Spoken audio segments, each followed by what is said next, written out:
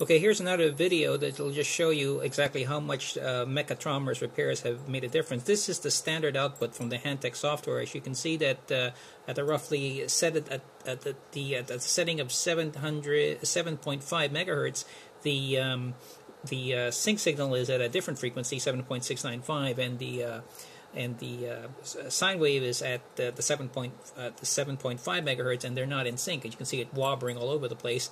Not only that, the sync signal, as you can see on the top, is tending to shift and jerk around. Uh, that's the yellow one on the top, shifting all over. Anyway, I'm going to apply Meccatrommer's repairs. Boom.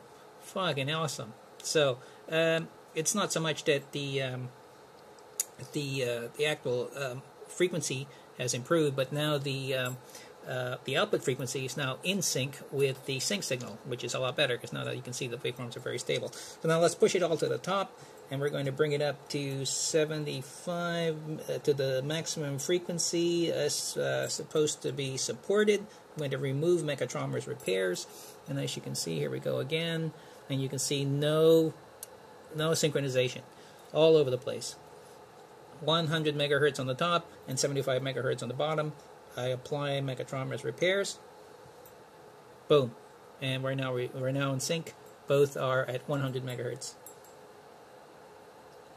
we can, of course, adjust it.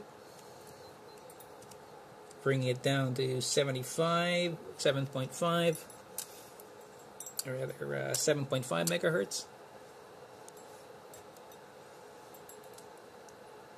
And we're in sync. Now, this started off with the goofy setting of the original Hantek software. That's why the actual frequency is slightly off. But if you use a Meccatrommer stuff from the from the get-go, uh, it won't be so. Uh, you'll uh, what you type is what you get. Thank you.